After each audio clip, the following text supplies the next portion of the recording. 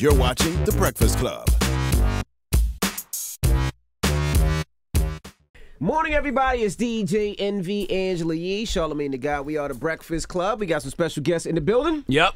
From ESPN's newest, uh, what is it? Y- y- the newest co-host. What's the name of the show, guys? Sports Center. Sports Center. Sports Just call Center, the you know, the Oh staple of the network. the newest host. It's an there. upstart program Christ. called Sports Center. Michael Smith and Jemele Hill. they're- they're the newest host for Sports Center. The They've been host. on ESPN with a show called His and Hers. His and Hers, that's what it was, One of my highlights of my day is watching His and Hers simply because y'all so damn black on ESPN. I mean, thank you'll hear. Menace II Society references, coming to America. Breakfast Club references. Breakfast Breakfast Club. Club references, Is- yeah. Is that done on purpose? Um, Just us being we being just us, man. being ourselves. Yeah. Yeah. we're not trying to be black. I mean, we are black. yeah. this just Right. in, right? Newsflash.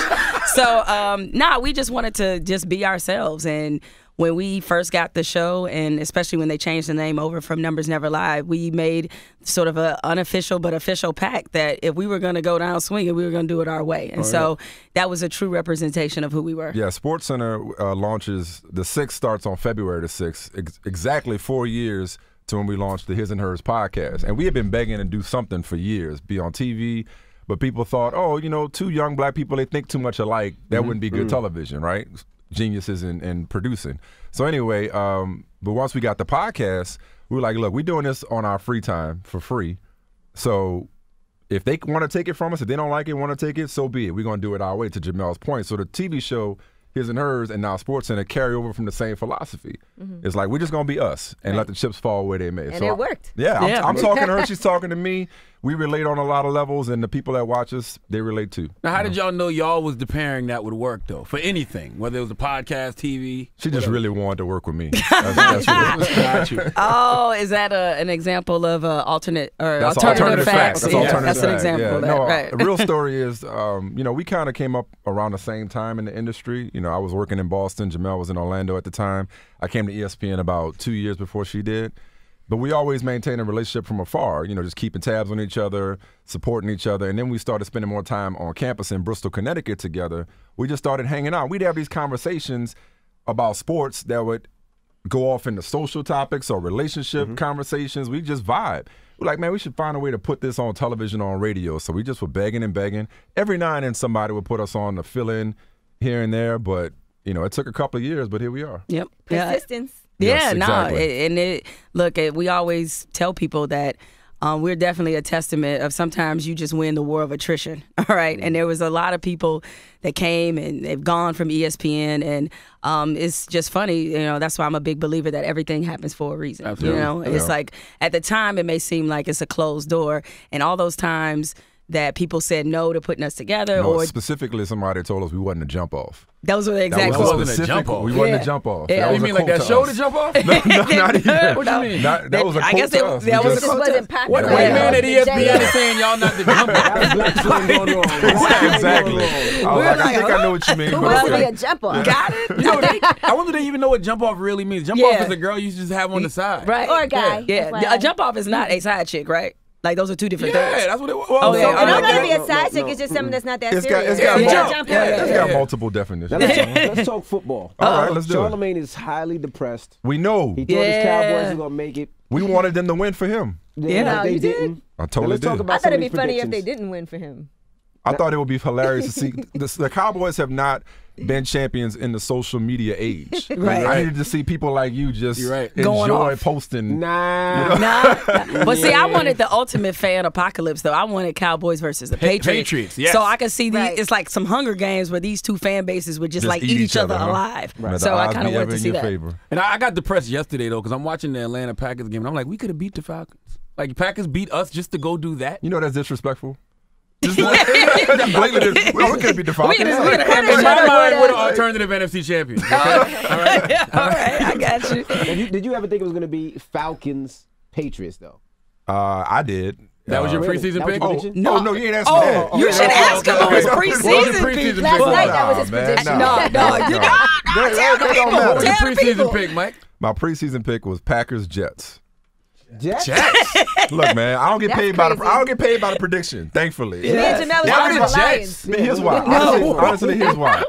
Everybody was picking the Patriots, and I'm So like, you just wanted to go somebody. totally left. I'm- and I own that from the beginning. I'm like, you know what? No guts, no glory. Somebody got to think outside the box here. We can't pick Patriots, Seahawks like You thought a everybody little was too doing. outside the I box. just When, when did it you was- realize? I When did you it. realize that wasn't going to happen? Like week one. Yeah, I know. Like you think Oakland? Yeah, like you said, Oakland? but the, okay, preseason. How many people picked Oakland? Nobody. I'm a Giants fan. You understand what I'm saying? all day. I Yeah, was but looking- the I was- Jets, They- Mike, they They won that's a 10 reach. last year. Jets fans didn't even pick They won 10 last year. How many people had the Cowboys this year doing what they did? Me. Well, No, you didn't. You crazy? I picked it He every year. every year. Every okay? year, okay. I was like, We can cuss on there. We can cuss on there, right? Yes, go ahead. Oh. Yeah, go ahead. Go ahead. Motherfucker, stop lying. stop lying like you ain't had the Cowboys be the I number always one pick the Cowboys. pick the Cowboys Every every year. year. I could believe that. Yeah, I Yeah, could for one second, you didn't think the Lions maybe? No, I'm not. I'm not a oh, Lions fan. So I even know, though I'm from I'm Detroit, saying you didn't no, think- no. I, I've seen growing up in Detroit. I've seen 50 years of the, or I haven't seen 50 personally, but it's been 50 years. I'm not that damn old, but uh, no, but it's been like 50 years of the same kind of terrible, disappointing football. So only the Lions would lose because the, the week before they played Green Bay, they had to win to to actually win the division. they lost their last And three. They lost their last three. Yeah. Like only they would fi- figure out a way to back up in the playoffs and then you know sort of have their season end the way it did. My preseason preseason pick was Steelers Seahawks, so I tried to go a little a little bit out the way. Conventional. See, I just went on the No, that just makes sense. Like, yeah, that's- you know, Nothing wrong with being conventional. No. What do the No. Need to do to to, to, to win next year? spend all our money on defense. I didn't ask you. what they need to do win, to win next year? Call a timeout instead of spiking it. Yeah, that'd be one- I that'd mean, be who, one. who knows how that plays out? True. If Aaron Rodgers doesn't have enough time to make the plays that he did, Yeah, that hurt know? my feelings. They- Get the they're ball to Zeke, at They're least. plenty good enough to win now. Yeah. you know they're Yeah. good enough. Yeah, and of course you just assume that Dak is going to take another step, um, be more mature and uh, more experienced. And uh, I'd like to see what happens. What happens with this Tony Romo thing? You know, just in general, like, is will somebody actually jump up and trade for him? And maybe that could be another avenue for the the Cowboys So to go to improve the their Jets and then you could pick the Jets next year. Now, what do the Giants need to do? Because like there was a picked the lot of Browns. You know what I'm saying? there was a lot of criticism of Odell Beckham Jr. and all that. What does the Gi- what do the Giants need to do to make it? Careful. Golly, This is this is this is. what do the grounds. Giants need to do? I mean, Was that really being on got- the boat got- such a big deal? No, not at that all. was like the Did dumbest story into such a storyline ever. Oh, now I mean- black people don't think being on a boat is a big deal. wow, okay, all right. Nah, that was just dumb. I mean, it, it was. that was an easy storyline though. Oh, it kinda- was such low-hanging Once it fruit. happened, you knew if they lost the game, they were gonna come back to that. Yeah, somehow, like you know when Odell was uh, dropping those passes, he was thinking about that bottle he had at live. It's like it was just so dumb, and it's you know that was a uh, unfortunately they did learn that you can't create that kind of distraction, even though it's a dumb distraction. I put that more in the media than anything else. You know, you just can't create that kind of distraction. In terms of what they need, I mean, Offensive line offensive, help, yeah, running that would that would probably help. They like they just well need to kind of round offseason, out their know. team. But yeah, they Odell's got something growing up to do. He'll Mm-hmm. learn from this. We but- winning next year. Giants winning next year. Now, I always wondered, did ESPN ever try to, to change y'all? Because like I watch ESPN sometime and I, I get the references, but I'm like, Right. how does a 40 something year old white mom in the Midwest watching this show, does she get what So they did, talking did about? ESPN try to change us? No, Yeah. there were never any memos or, or emails. We never got came called into like, anybody's office. Hey, Yeah. chill with the hip hop references or the movie quote. They never. No, that never happened. There were producers who discouraged it mm-hmm. early on, but we never listened. Yeah. I'm like, look, yo, we trying to be us, and not to mention there are plenty of people. Well-established people who make their references that I never got. Yeah, I, u- I nobody- mean, I used to, and me. this is obviously no disrespect to, to him, um, but I used to say all the time, like, I, there are times I watch Chris Berman and I don't know what he's saying. I mean, he's very good. He's considered a, a icon in our business, but nobody tells him that.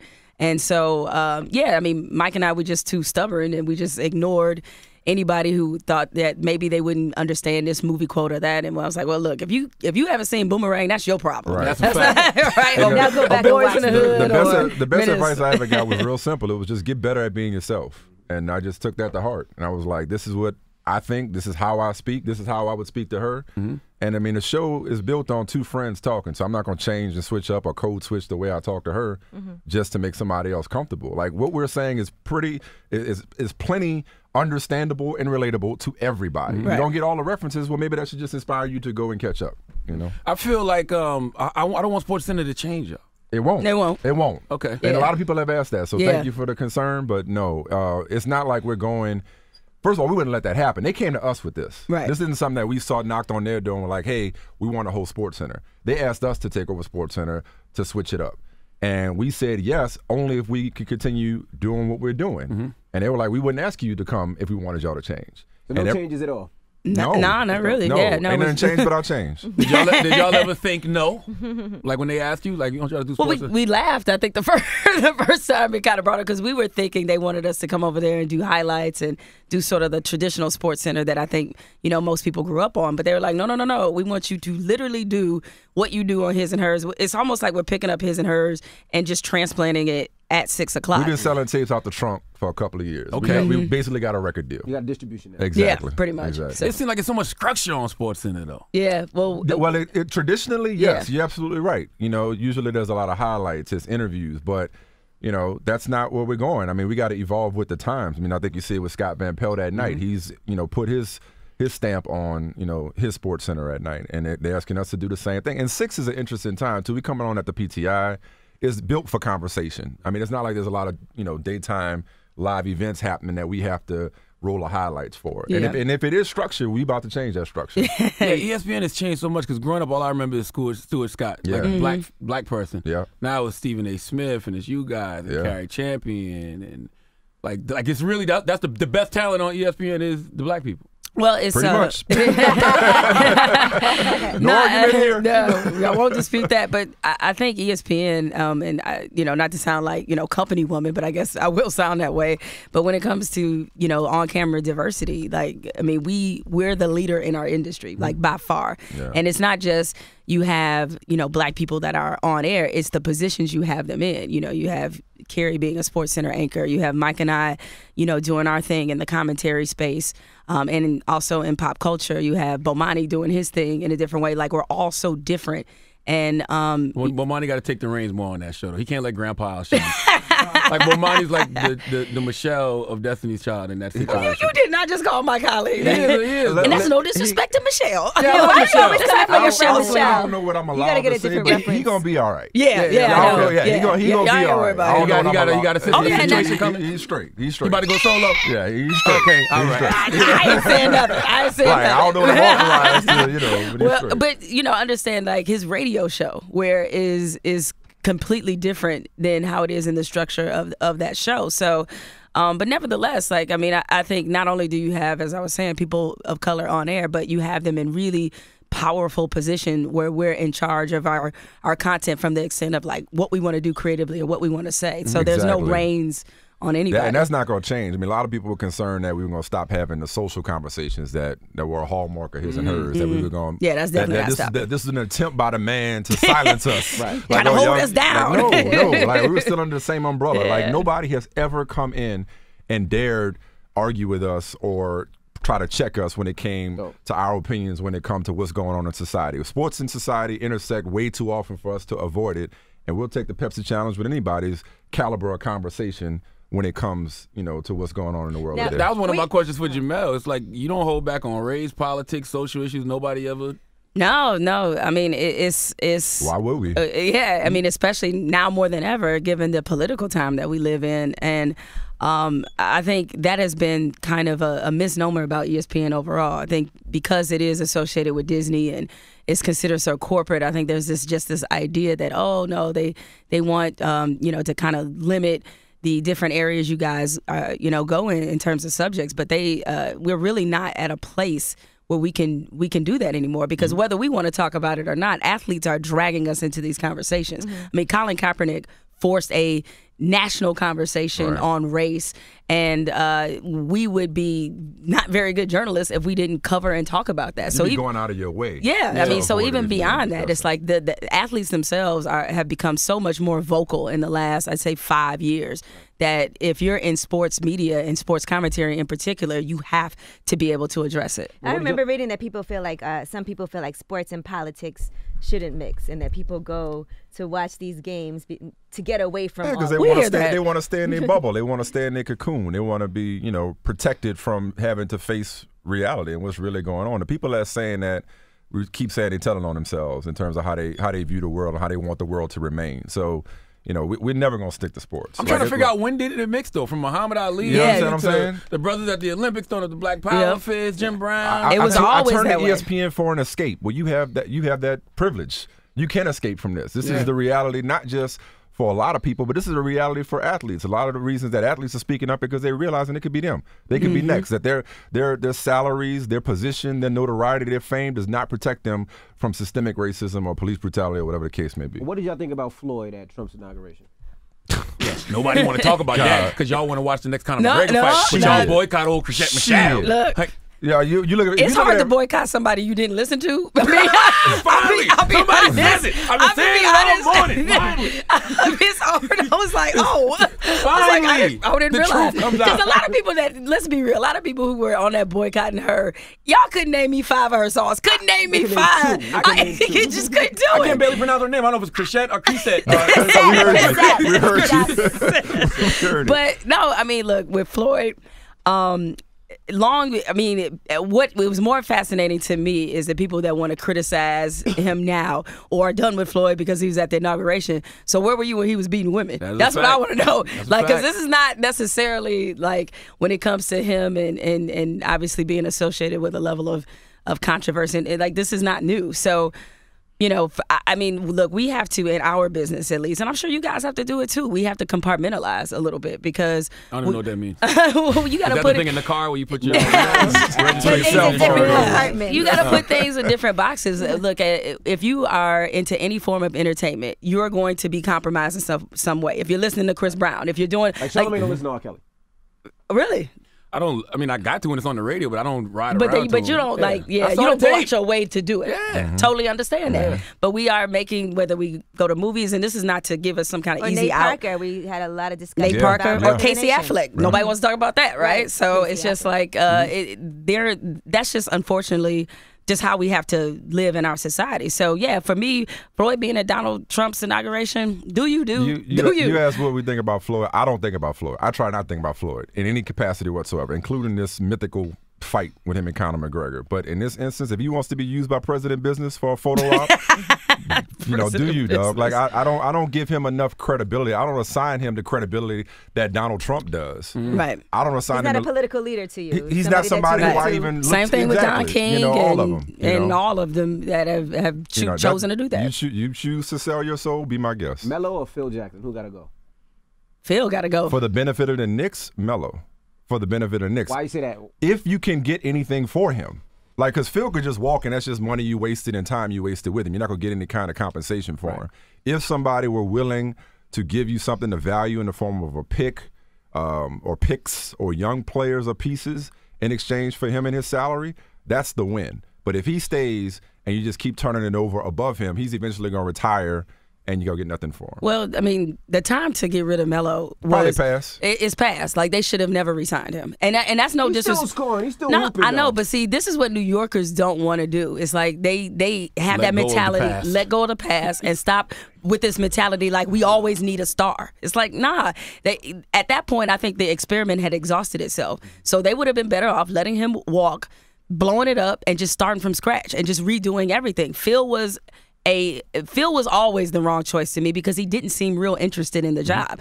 I mean, at least according to the reports, he let the job offer sit on the table for like more than a month, and you saw the kind of money they were offering. So the fact that that he was out to just prove something, I don't think if he was out to necessarily make the Knicks better. He just seems disinterested all the time. They just need to bottom out. They're too good for their own good. They Right. don't, need, they don't need mm-hmm. to be 18 and 23. They don't need to be in the mid. They need to like trust the process. They need Yeah. to just tank. Get another. Get, get somebody else to go with Porzingis. That's Yeah, what they it- really it need to got do. him Porzingis. But Talking went about and said, Melo oh, going to the Cavs. They they said, okay, let's go get Derrick Rose and Joe know how. Noah and try to try to compete for a playoff spot. That's not doing them any good long term. But who who out there would give up something of value for a player that age with that skill set and that contract?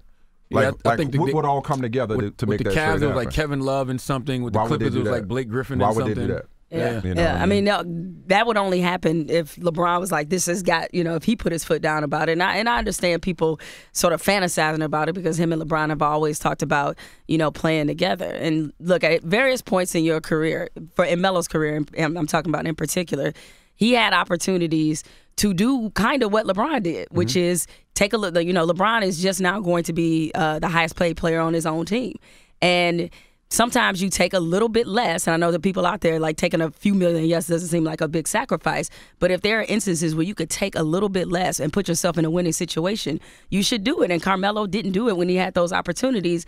And I just have a feeling that as he gets later in his career, especially going through this now, he may he probably wishes he could have had some of those decisions back. Damn. Uh, now, Michael, if you can't curse on Sports Center. That's what I've been told. I got two strikes, dog. Yeah, I got two He strikes. ta- he's taking all the curses for both of us. I was Yeah. like, dang, what if I want to let one I off sometimes? right? Now you One of just them- ruined it. One of them happened. We just got, dude. You know how much fun we have. We've been trying to get y'all on. We've been trying to get you on for a minute, man, Mm-hmm. because we appreciate the love y'all show from afar.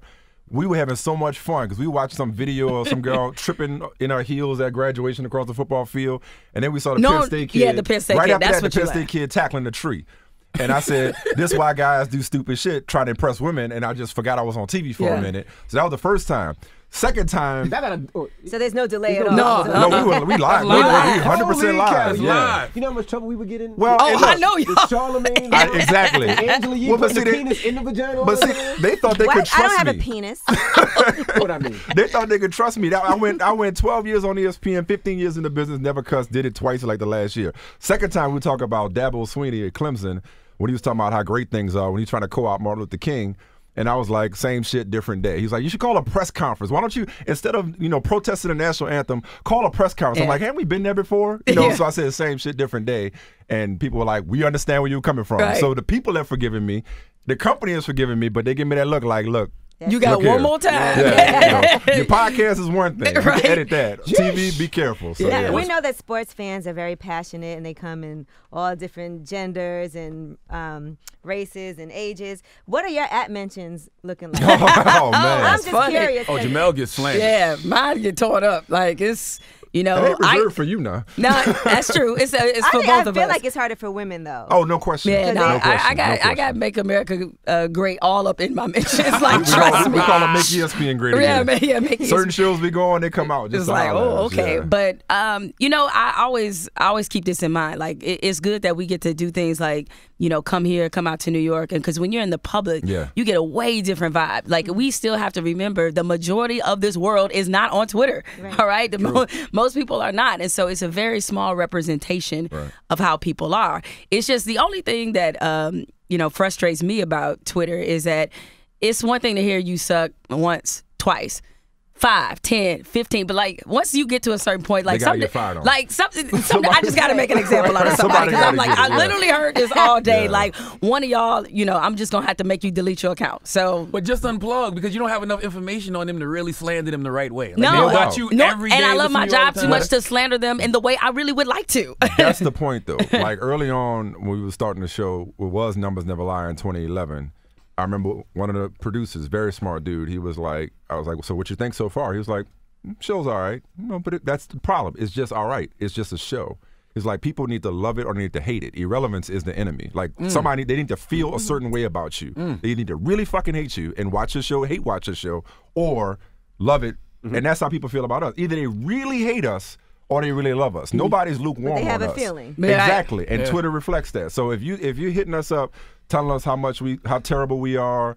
You still watching? Sometime at the end of the show, Right. It'll be They'll an get to the end like, that was a It'll be terrible it'll- show. it'll Thank be you. Twelve fifty-five. I'm glad you watched the whole show. Yeah, thank you. Yeah. Like you're watching the end of it. So Yeah. it's, that's that's exactly how we look at it. It's like it's, it's flattering in its own way. what athletes have beef with y'all and hate what y'all say about it? Floyd Mayweather. I don't know if Floyd I don't even know. checks I us don't like know. that. I don't Yeah, think he I even don't know if he that we does. exist. He's too busy counting his money.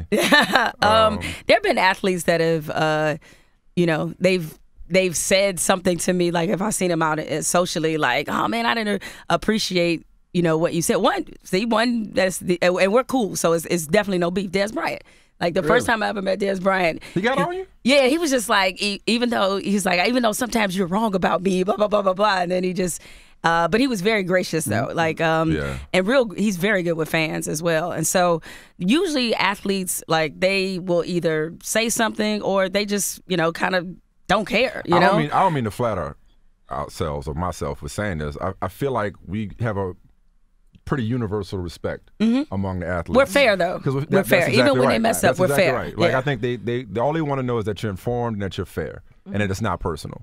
So if you start making personal attacks or calling them out of their name or treating them like a human being that doesn't have families, I think that's when they got a problem with you. But if you criticize them, most of them can take it or will understand. Hey, that's that's your job, and also see where you're coming from. Yeah, and they, and they do get you know they do get um, Sensitive. understandably sensitive about what we say. Like I'm not sure if Richard Sherman is messing with either one of us. Yeah, I don't know. I don't know. But I I don't mean, I What y'all say either. about Sherman. I forgot about that. What y'all say? We had to let him know that he was He on was that. on that uh, All Lives Matter. Yeah, Yeah, exactly. so we had to we- let him know that Yeah. that wasn't acceptable. Right. You know, he was sitting up there, you know, talking about we got to, you know, fix the hood first before before we start pointing the finger at the Yeah, police. We got to it's fix like- the hood. Like, like our two things are humanity is mutually conditional. boss. you know, that one has nothing to do with the other. We could have this conversation about police interaction. And not say, well, what about black on black crime? They got plenty enough people hollering, what about black on black crime? Mm-hmm. Nobody needs Richard What Sherman's about help. Chicago? Yeah. so, Yeah. What, what- what are the challenges y'all face being black journalists at ESPN? at E ESPN. Mm-hmm. At this point, you know, I think a lot of those challenges we've, dare I say, overcome because, you know, typically the issue is the driving of content. Okay. which is why it's so important. I mean, I, one of the one of the cool things about the six o'clock Sports Center, uh, this new interaction, uh, iteration, whatever you call it, is going to have one, two, three, four, four, maybe five people of color. That's including three women, possibly, at in, in, in positions to make To decisions, influence to and influence make decisions on content. content, So. I, basically, what I'm getting at is, you know, since numbers never lie slash his and hers, we've been driving the content. Nobody's been telling us what we can or can't talk about or how we can or can't talk about it. So beyond that, you know, it's it's you know, do the best. You got a book coming out, right? Absolutely. You know, opportunity. Opportunity comes to those who create it. Black Thank privilege. you. Exactly, Yeah. black privilege. So I pre-ordered that. Thank Um, you, sir. So the cre- the opportunity is there. We've seized it, Mm-hmm. and we are being unapologetically ourselves, as Jemele said. Off. And How much sports do y'all have to watch though? Like, is it? I'll all, let Jemele answer the question about Oh, black oh well, no. Only thing I was gonna say is that um, you know I, I, I think any of the things that we have to uh, we have yet to overcome if there are some still some obstacles. I mean, of course, I mean you guys know this and being in this business, like we're judged differently. I mean, it's just Right. the reality of it. And um, I'm judged differently being a black woman. He's judged differently being a black man, and us being a black duo uh, in this type of platform. So other than that.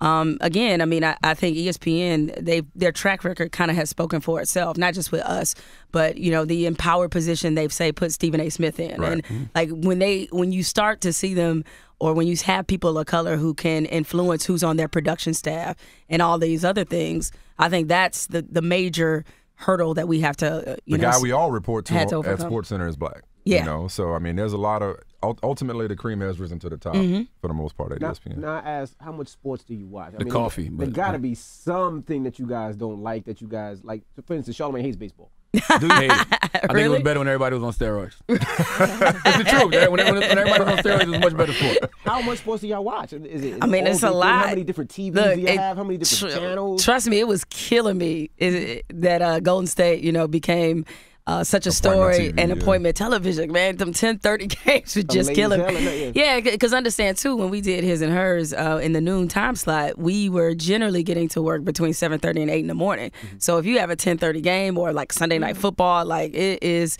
It's tough. I Checking, you DVR. know. Yeah, I mean, I DVR'd uh, a, a lot of stuff. I mean, I, granted, I'm preaching to the choir. Y'all the Breakfast Club, so y'all Right, understand. right.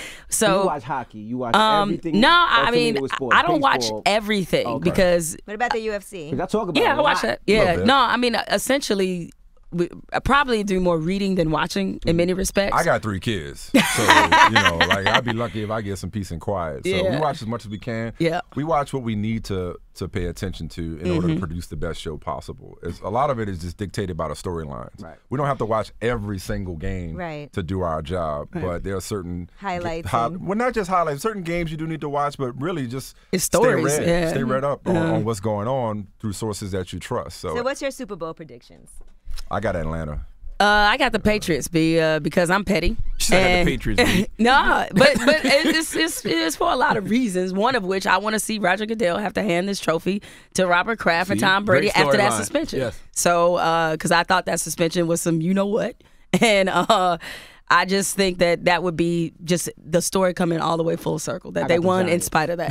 You got the Giants still. And you- Alternative Yeah, he got the Cowboys. Super Bowl champions. okay. Now, now, now, Michael, you got three kids. Three, ten, married, eight, and right? four. Yep. You married, right? No, 'cause- That's why all he's about, on all, the same woman. all about the same woman. And the all same about the same woman. woman. Wow. All about the same woman. Been like- married for 12 years. No outside kids. No, I said I know what outside you mean? kids. I'm, I'm going somewhere with this because no, 'cause the interns that put on the paper they say, "What about the rumors of Michael and Jemele being an item?" And I'm like, "That's never been a Let me see this paper. Yes, it's Listen number. Hold on, it's number. What is this? What number is this? I mean, we get asked about it uh, constantly oh, number on four. social Number four, media. Number Yes. four, number four. Yeah. I'm like, I've never this heard is that. great. This is great. Nah, Hey, we, get out of our notes. Oh, I'm sorry. we get asked, we get asked about that a lot on social media. yeah. People Isn't that like weird though? Like just because y'all work together, like it's just people. It's- it's- people don't think men and women can be friends. It's the Let me tell you something. When I go chemistry. places with them, like if me and Envy have a party to do, or me and Charlemagne are somewhere, people be like, "I know y'all." Fuck. I'm like, "No, we are 100 percent Workload over a meal. Not. Yeah, exactly. I don't even want to be. No, I'm just kidding. But-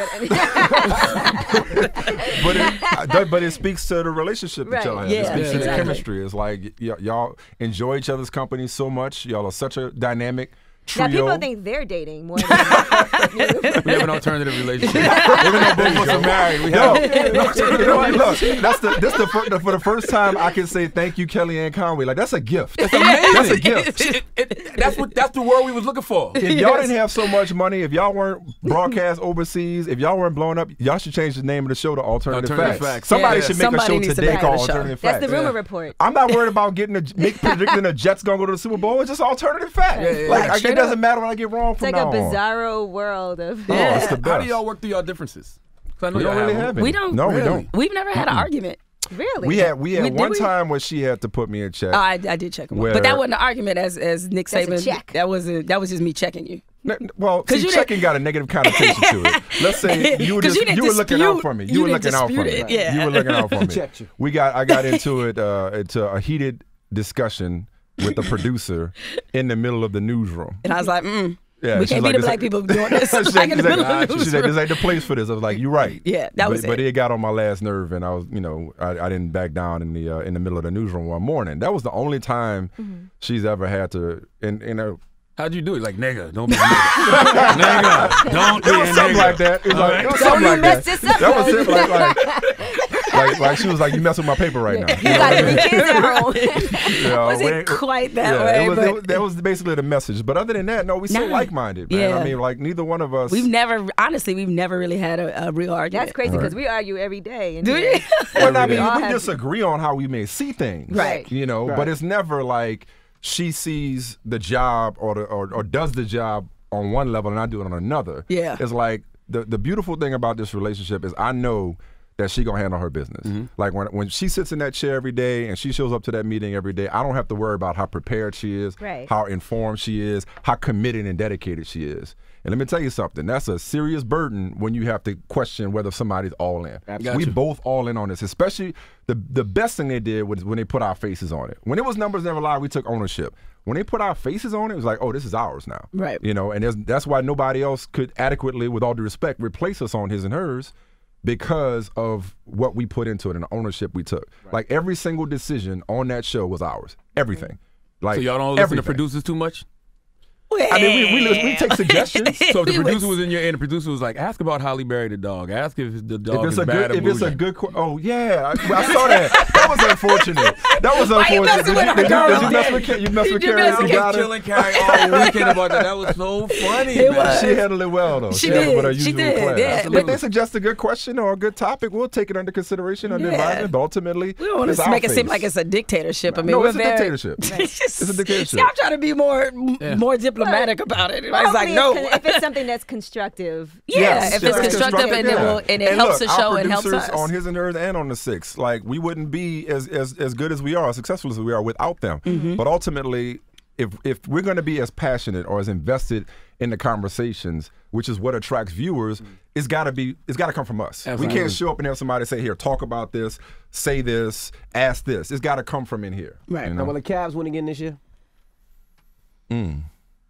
I'm gonna say no. No, why Um, not? I think it. Look, it, it wouldn't surprise me. uh, Certainly, uh, I know Kevin Durant and, and that addition. I just, it, I don't know. I just feel like Golden State is gonna overcome, uh, overcome that hump And uh, you know, right now, obviously, I think they still have the best record in the NBA, Golden right? State, yeah. Yeah. Um, and I, I do think by the time the playoffs roll around, uh, they're going to peak at, at the right time. Like last last playoffs, it felt like they were sort of running out of gas a little bit. And I don't blame that on going for the record. I know that was a very convenient excuse some people use, but they just seemed kind of mentally a little tired. I, I think having this rivalry with the with the Cavs. Yes, LeBron, it is a rivalry. Yeah, right. All right, having this, I think, is losing in some respects might have been the best thing, you know, for Well, they them. got him KD. I, I I will say Golden State will win, um, and that's that's more hopeful than predictive.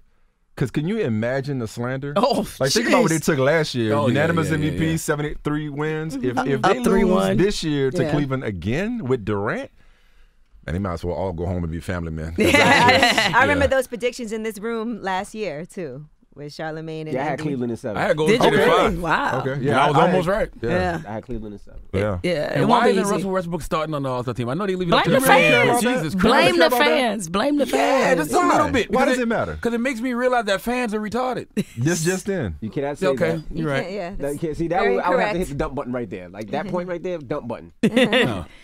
No. Well, listen, I'm glad That's that y'all. why. That's why we're taping it, right? Yeah, yeah, yeah. You still gonna air it though. Yeah, yeah, But yeah. I'm glad that y'all haven't become characters of yourself, man. Yeah. Because you see that a lot. Like, you know, no one name any names, but Stephen A. Smith, Skip Bayless, they became characters of themselves. I won't name any See? and it wasn't as interesting anymore. Like y'all still seem authentic and real. Well, with it. I, I'm not that good of an actress, despite playing several men in our spoofs. Yeah, Um, right. so That's gonna doing- continue too. By the way, Yeah, Would y'all will. come and act in one of our spoofs? Absolutely. Yeah. Absolutely. Yeah, Yeah. that'll get my brain And my last question is: Every year I pick a different team Oh boy.